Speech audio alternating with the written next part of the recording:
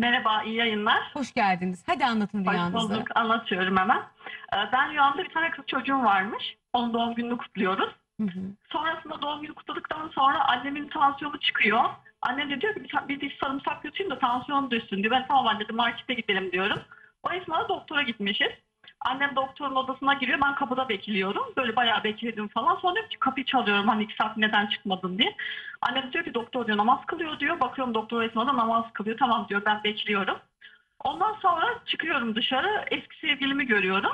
Pınar Hanım, Böyle canım falan efendim annenizi dinleyin. anlamadım. Annenizi dinleyin. Dinliyormuş gibi yapmayın lütfen. Annenizi dinleyin. Tamam. Çünkü annenizi dinlerseniz muradınız inşallah olacak. Çok teşekkür ederiz. Pınar Hanım'ın çıkardığı sesi duydunuz mu yani? O kadar mesaj net alındı ki. Evet. Tamam oldu ben annemi dinleyeyim en iyisi. Evet. Aslında bütün gençler annenizi dinleyin.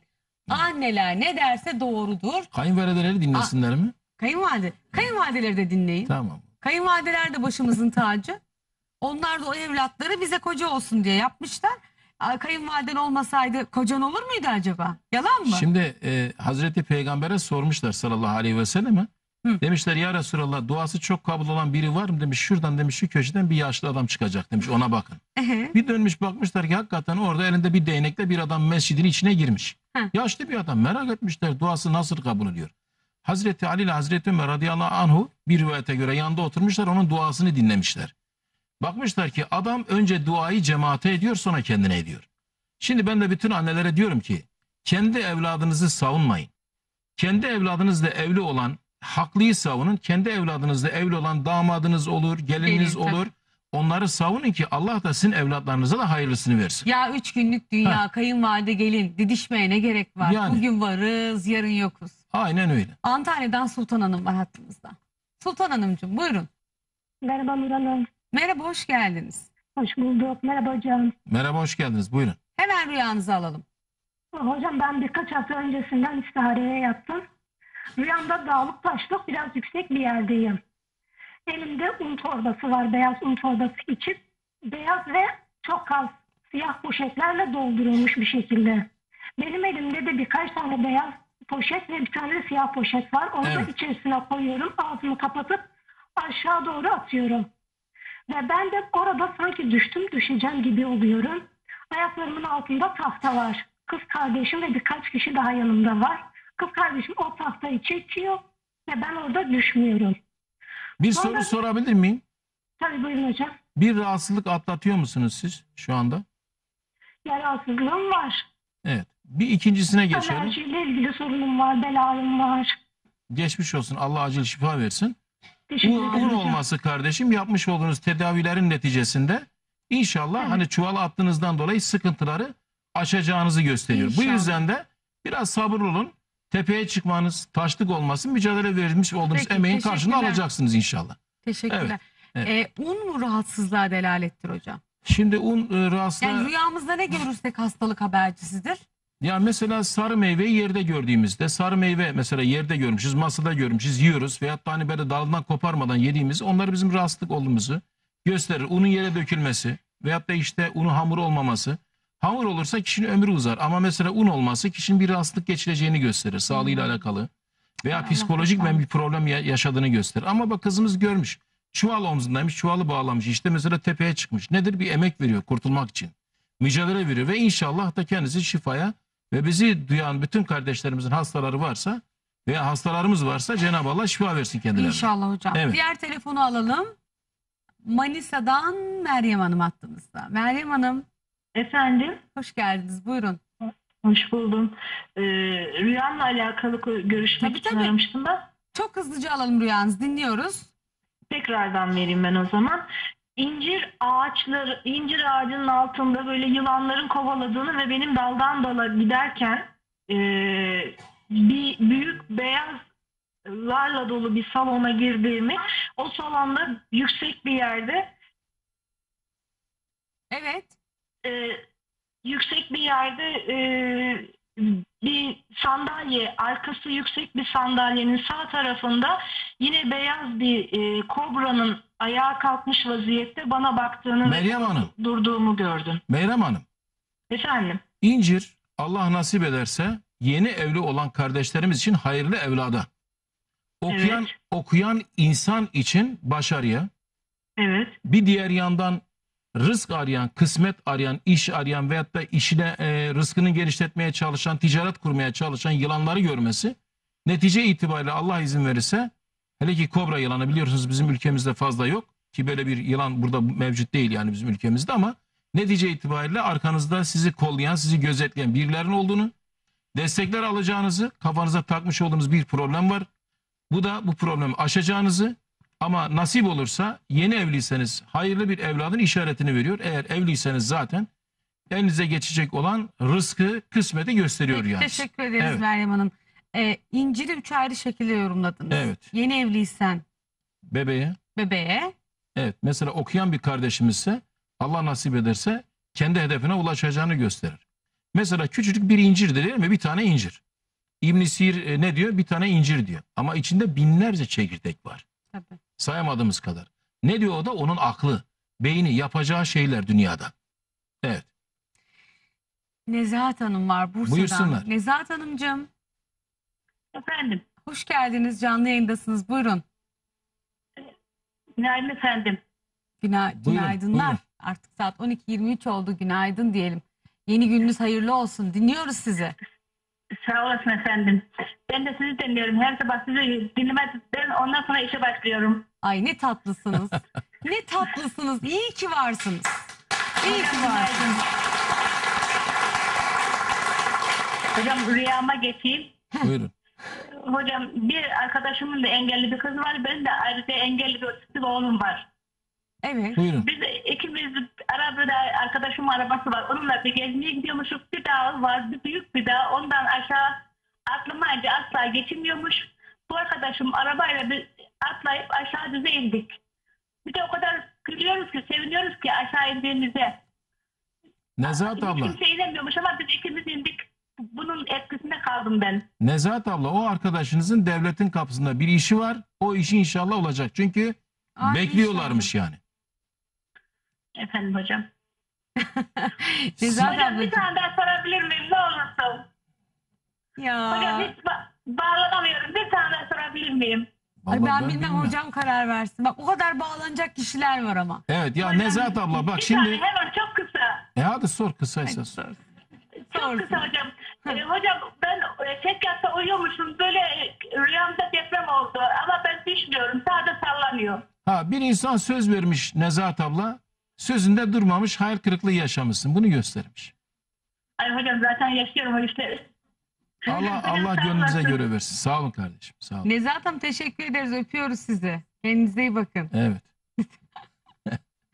Demin hani söyledi ya bir tanesi bir kardeşimiz işte Hangisi bişmiş hocam? kelle gördüm dedi.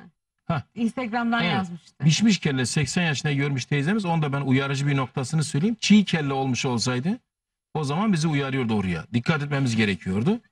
Bişmiş olması ne gösterir? Evet. Diyarbakır'dan biz Buyursunlar. Alo. Alo merhabalar iyi yayınlar. Hoş geldiniz. Buyurun. Hoş bulduk. Ben hemen size rüyamı anlatayım. Hadi ben anlat. birkaç defa aynı rüyayı gördüm. Sevdiğim adamı rüyamda gördüm ama yüzüne göremiyordum. Sadece bedenini görüyordum. Yani başı yok gibiydi. Vardı ama ben göremiyordum başını. Bitti Nasıl? mi? Hadi o sesini duyamıyorum. Zinet, Zinet kızım Hanım. bitti mi? Bu kadar mı rüya? Evet bitti rüyam bu kadar. Ee, sen platonik mi diyorlar ona? Platonik. Anlamadım.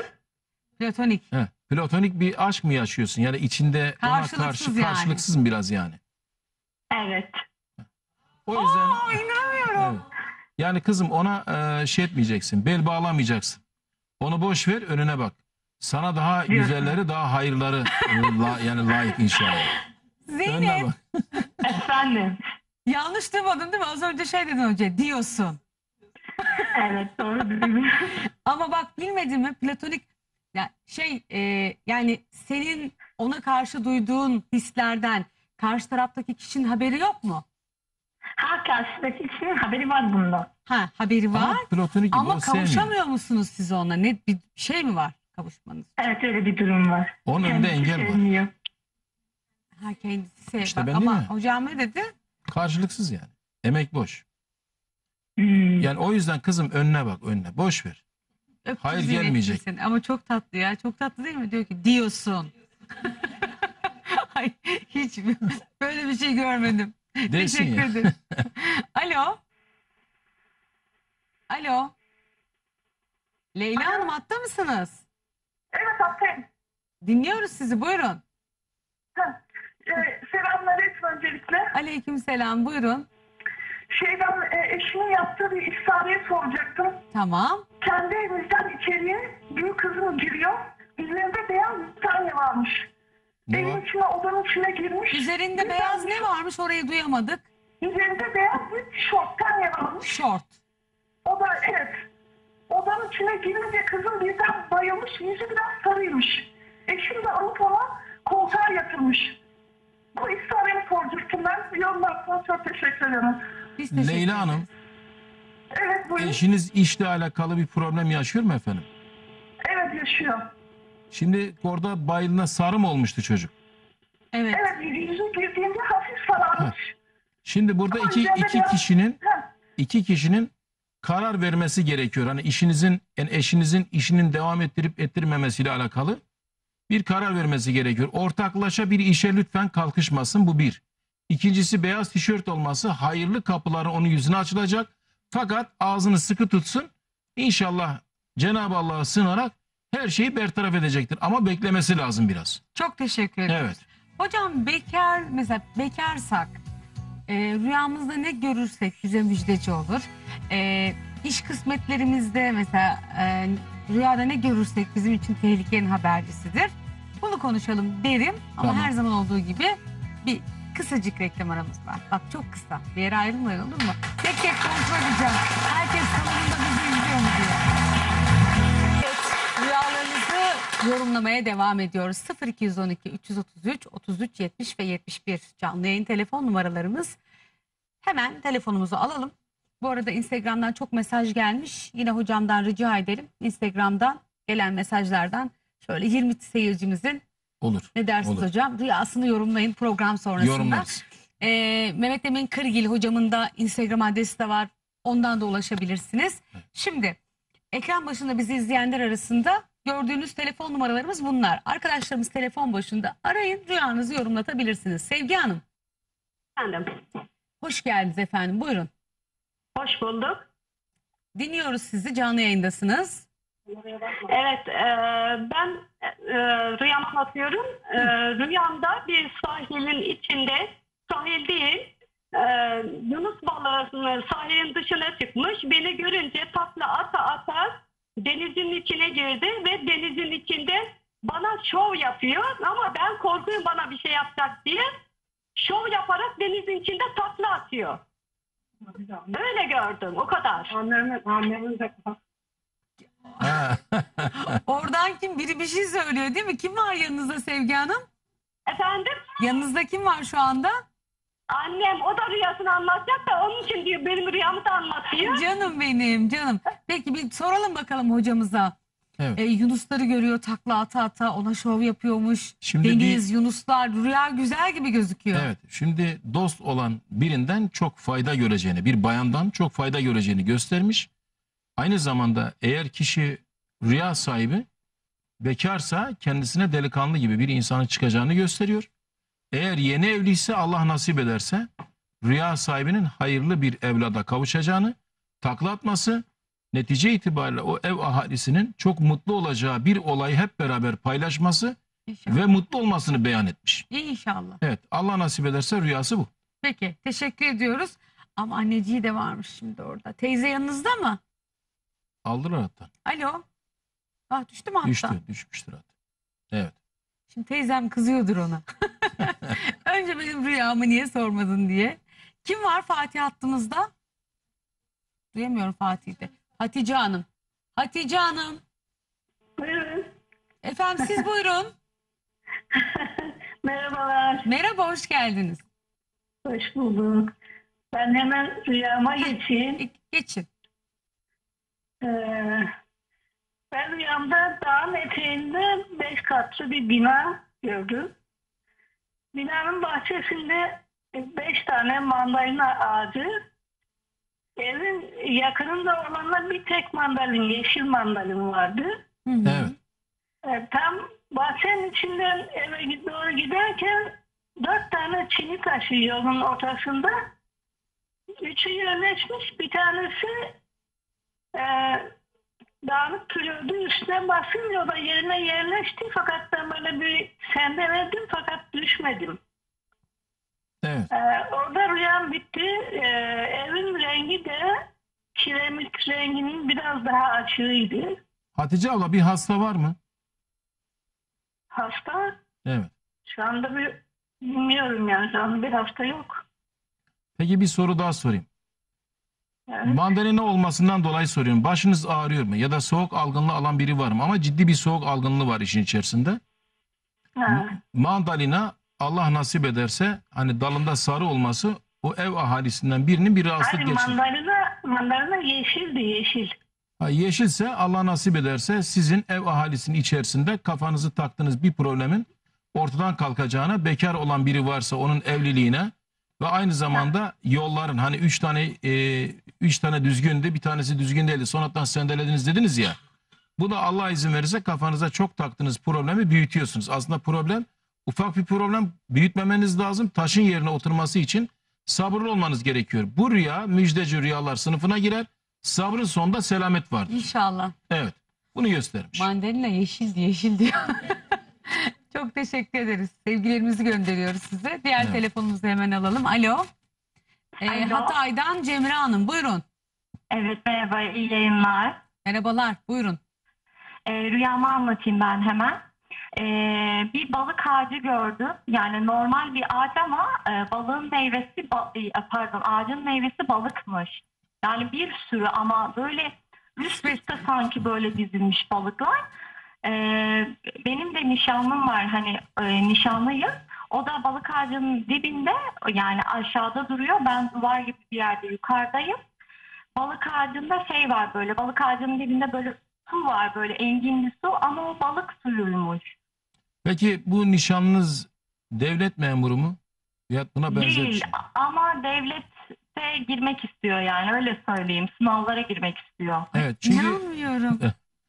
E, nasip olursa devlet memuru inşallah bu kardeşimiz olacak. Siz de onun üzerine çok faydalanacaksınız. Eşiniz olarak inşallah size faydası da çok dokanacak Peki yani. Hanım teşekkür ediyoruz hocam. Sizi de tebrik ediyoruz. Evet. Eyvallah. Allah razı olsun.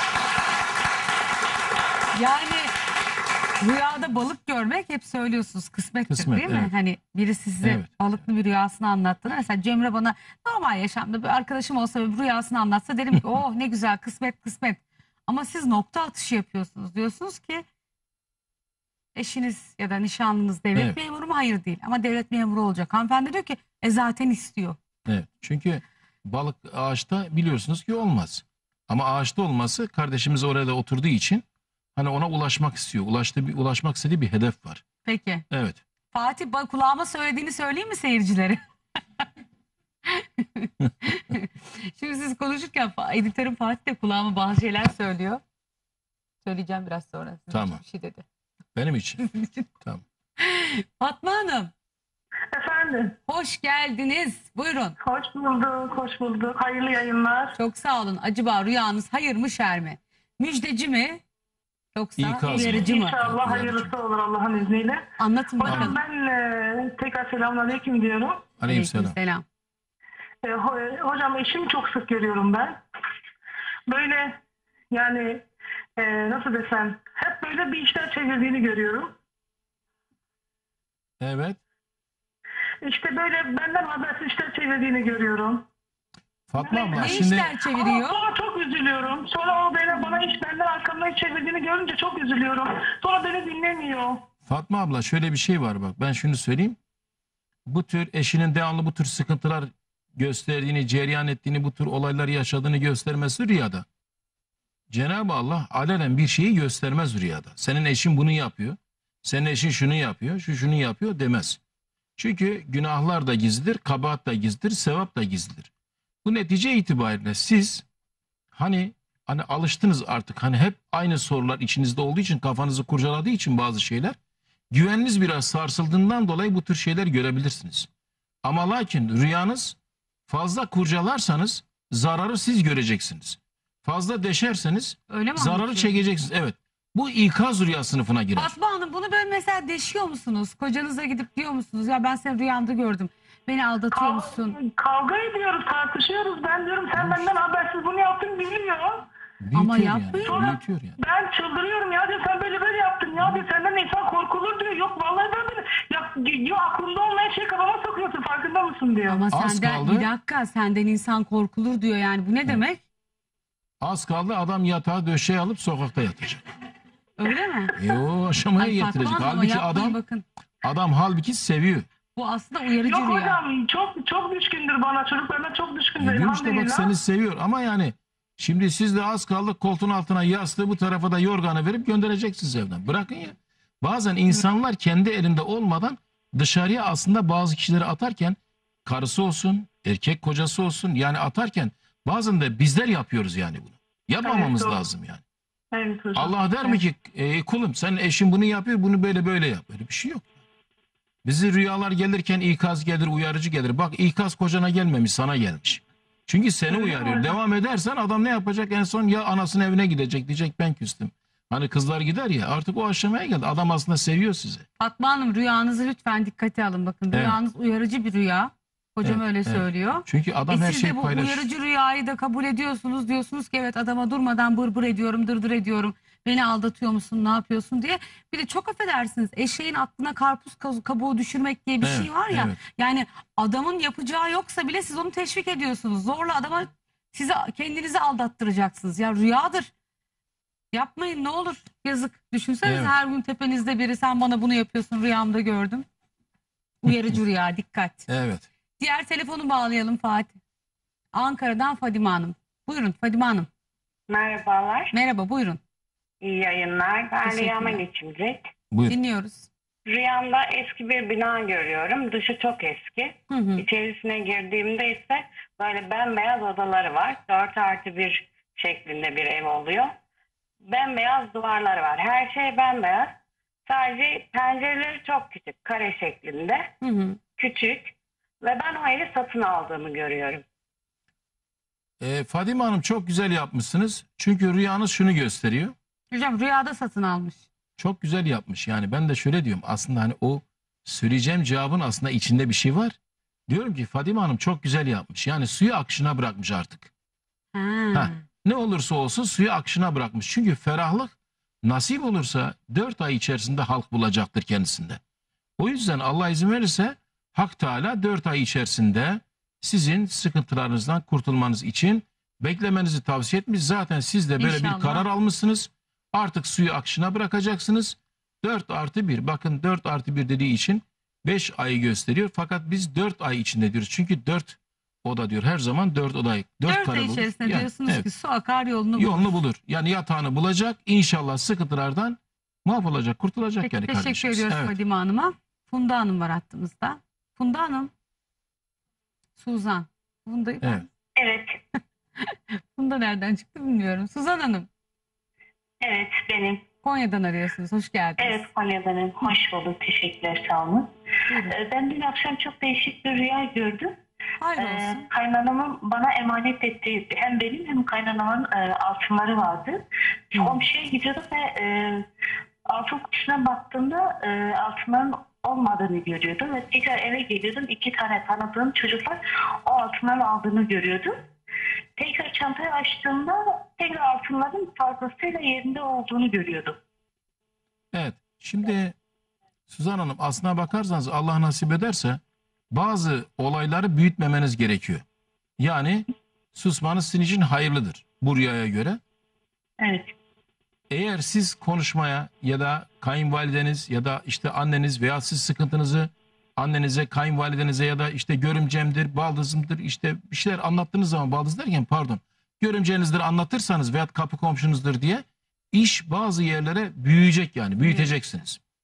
Yani kapanan bir olay var. Hani çözülmüş bir olay inşallah.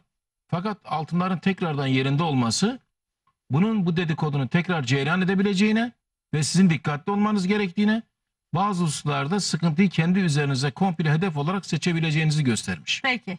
Evet uyarıcı bir rüya dikkat edecek bu kardeşimiz. Konya'dan Suzan Hanım'a teşekkür ederim. Evet. Mersin'den Seda Hanım'ı bağlayalım hattımıza. Seda Hanım hoş geldiniz. Dinliyoruz. Ee, hoş bulduk Nur abla. Canım hoş geldin. Dinleyelim hemen seni. Seni çok seviyorum Nur abla. Sağ ol tatlım benim. Program başından beri bağlanmaya çalışıyorum.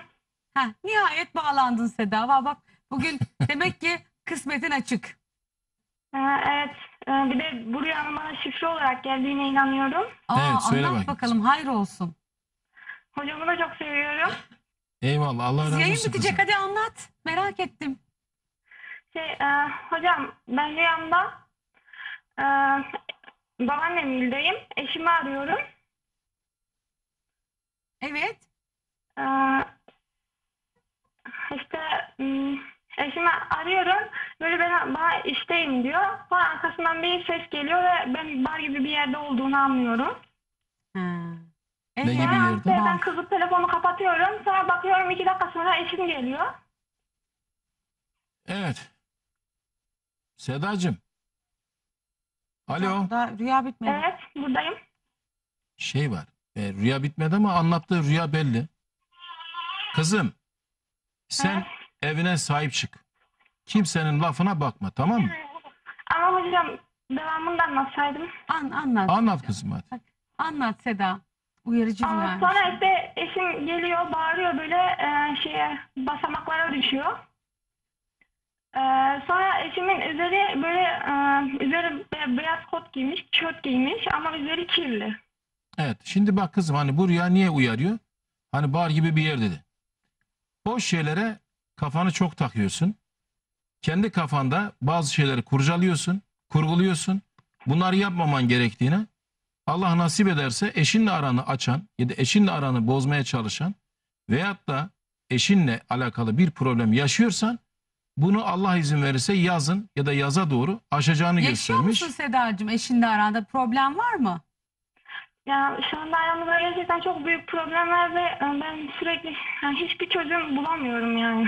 Evet sabırlı olman gerekiyor kızım. Çünkü e, dışarıdan sizin eşinize müdahale eden, size müdahale eden birileri var. O yüzden de üzerindeki hani beyaz kotun üzerine leke olması kızım her halükarda hani eşin dışarıdaki sıkıntıyı eve taşıyabilir. Ama sen de bazı of, of. sıkıntılar ona devamlı yansıtma. Çocuğun için yaşa, e, yuvan için yaşa. Allah izin verirse inşallah çözülecektir yani. Peki teşekkür Evet. ediyoruz.